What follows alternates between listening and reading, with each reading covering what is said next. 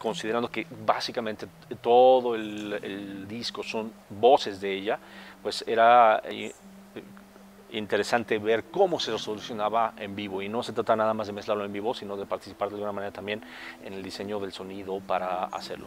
Otra parte fue que, por ejemplo, prácticamente todo lo que son las voces grabadas que se reproducen en vivo y que se procesan en vivo, me están llegando vía digital. Entonces ahí estamos viendo realmente también que pues es parte también finalmente del futuro de la, de la tecnología.